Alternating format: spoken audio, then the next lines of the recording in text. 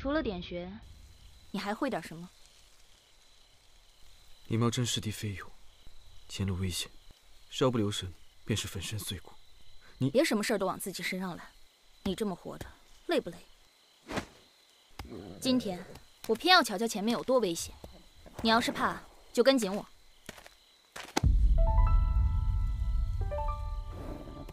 丑话说在前面，你死了，我可不管埋。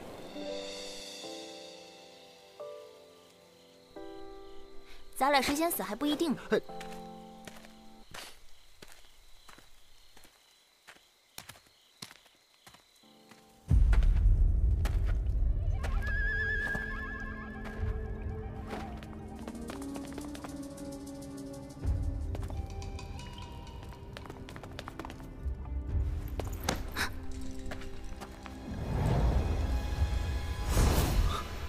龙泉剑竟然到了他的手里，他是在去幻音房之前就把剑藏在了这里。龙泉宝盒，也是时候让你重见天日了。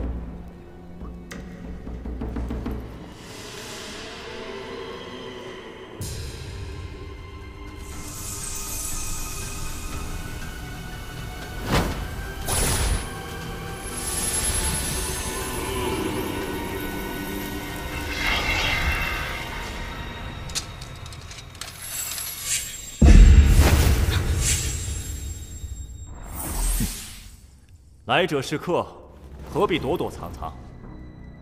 若是自行站出，本王或许还能以礼相待；如若不然，别怪本王失礼。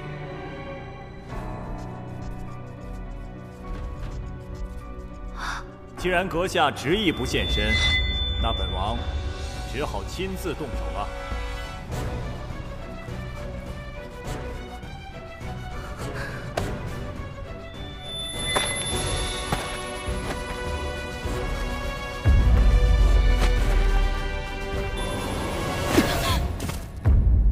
一言不合就要动手，你们这些当老大的就不能学着稳重点吗？是你，嘿嘿，怎么样？没想到吧？的确，本王的确没想到，你竟敢独自来送死。错，我独自前来是因为其他人在，反而会给我添乱。哦，何出此言？因为你想要龙泉宝藏，就用得着我老李。龙泉宝藏需礼堂后裔开启，只是传言，未必是真。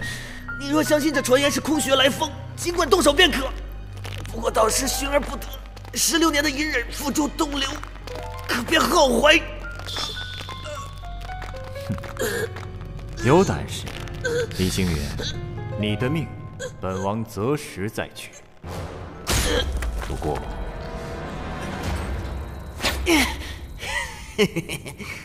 我可以帮你寻龙泉，但你休想给我下蛊。我虽杀不了你，但弄死我自己，办法多得很。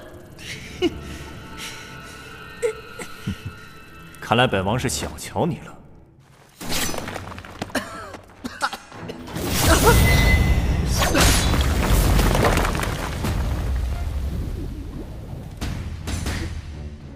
干什么？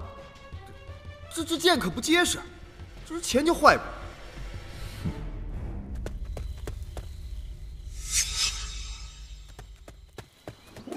是雪儿姑娘的信鸽。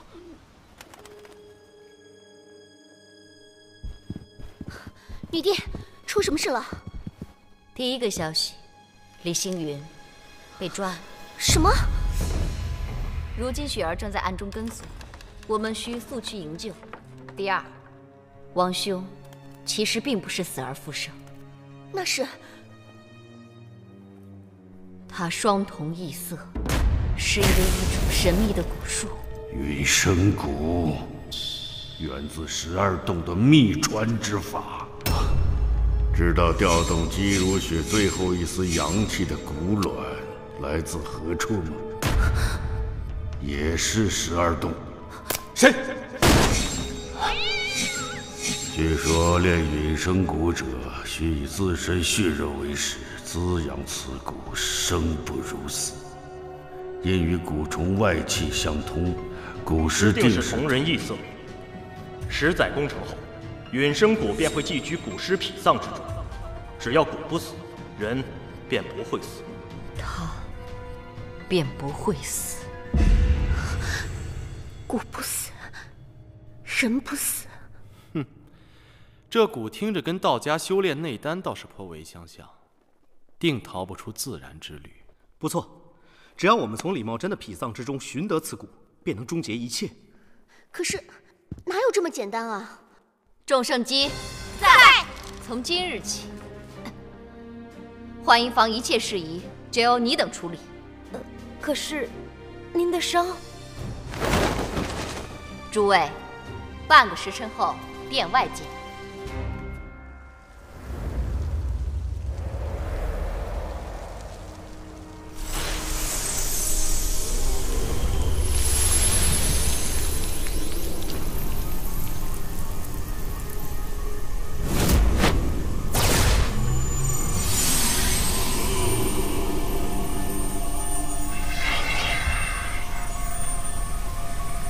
奉劝一句，别耍花样，否则本王定让你生不如死。哎，你多心了，我只是闷得头疼，先给自己扎扎。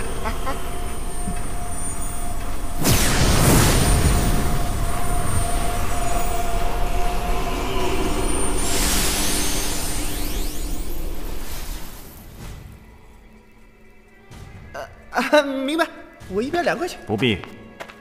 解蛊时，本王尚不避讳。此时留你又有何惧？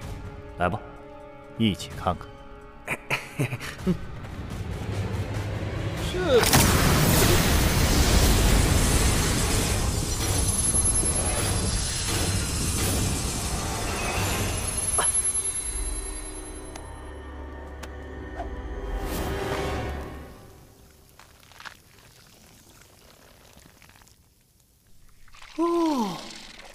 原来这就是一直守护着宝盒的苗疆圣蛊啊！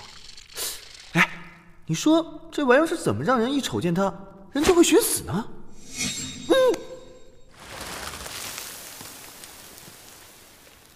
嗯，嗯嗯这花，嘿，莫非这下蛊的是位姑娘？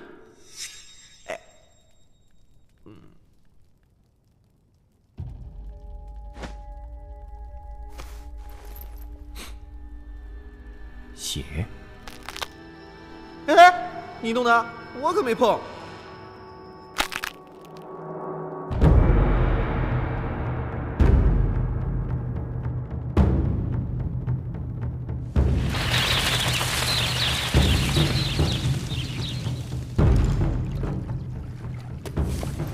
该来的，终究来了。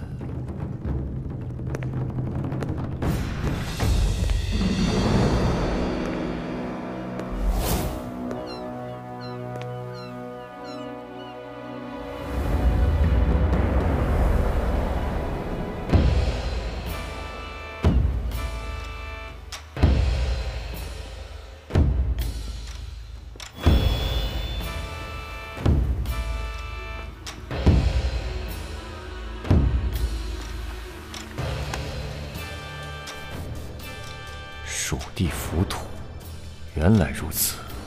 大帅神机妙算，那李茂贞时隔十六年，终于拿到了真正的龙泉宝盒，您是时候行动。还不是时候，再等等。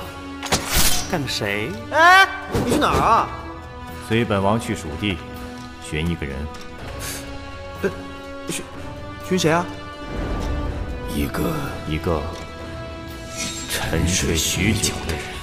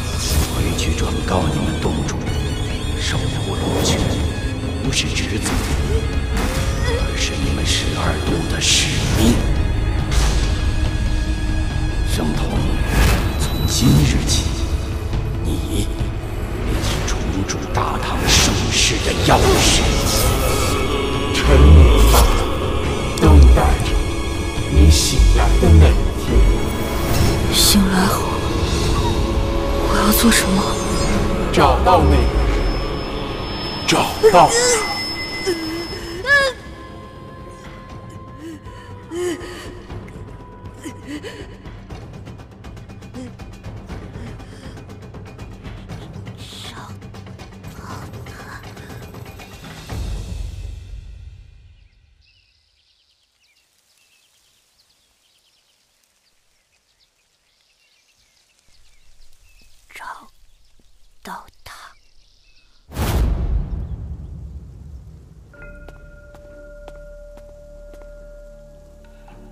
知道了，下去吧。如何？李茂贞已打开龙泉宝盒，此时正向蜀地方向前行。看来齐王这个马前卒做的还不错。幻音坊可有动静？暂时没有。齐王夺走宝盒，女帝绝不会坐视不理。之前他用龙泉宝盒跟黑白无常玩那手偷梁换柱，不过是为了掩人耳目。好在大帅兴师问罪时能有个说辞。如今大帅不在，女帝又怎么会放过这大展拳脚的机会？既然如此，暂时不要对李茂贞出手，